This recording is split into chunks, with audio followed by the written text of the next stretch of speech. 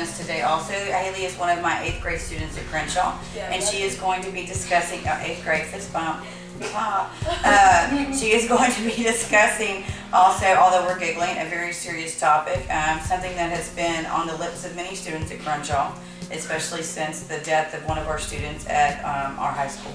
Um, I've been bullied a lot, so like, whenever somebody like makes fun of your home life, because like you know a lot of people don't really have like, like you know like people don't really have a good home life, and then you go to school to get away from it, and like they tease you about it. Like that's mostly how it's been most of my life, and like it really does lead you to depression. Because I would like depressed the past two years, because I would go to school to get away from the stuff I had going on at home, and people at school would be all like, oh, well, look at that. Look at what she's wearing today. Did she wear it yesterday? Know? What did you do? I mean, like, how did you try and cope with the comments? Well, I first started like burning myself, you know, trying to like relieve the pain. And if that didn't work, I would start cutting. And eventually, when I moved away, I try to kill myself. Because I would come to school and, you know, I was so embarrassed that like I was doing the stuff to me that I really didn't want to tell anybody that I was close to. Like my best my best friend since I was two, I would go around her and like act shady, you know. Like I would talk behind her back because I didn't want her to find out. I wanted her to hate me, so she didn't find out. Now, do you think that there's something that, that could have been done before you got to that point? Do you think there's something,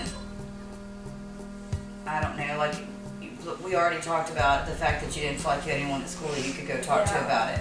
I mean, that's a big thing. If you don't have an outlet, and we heard somebody else say that, that they didn't feel like they could go talk to anybody, because if they talked to him, then they would tell somebody else, and then it would get all over the place and be all spread and be something even bigger than what it was and you'd be ridiculed mo- more. Yeah. Um, is there, like, I know you said that since that incident with, and this was your uncle, correct? Um, that since your, your uncle died, that you stopped. That doesn't mean, does that mean that the bullying has stopped or does it mean that you have stopped going, you know what, I don't care what people think about my home life. Um, I'm about me. I mean, is some, what has changed? Has that, has that stopped or have you changed? well, I guess asked me. She's all like, she'll point at him. She's like, did that hurt? And like, you don't want to live with that. You don't want to grow up and have your kids ask, oh, how did this happen? You want to be like a great example for everybody. And has the, have the people at school stopped making the comments about your home life? There's a couple of them. They're like, oh well, they make fun of my scars or like my hair and stuff because well, look at my hair. But It's awesome. We, we like your hair because you're unique. we Yeah. like uniqueness. yeah, I just started like, I even told a bunch of people, um, I was like, you've seen the things that I've done to me. I'm not scared to do to so nobody was like that.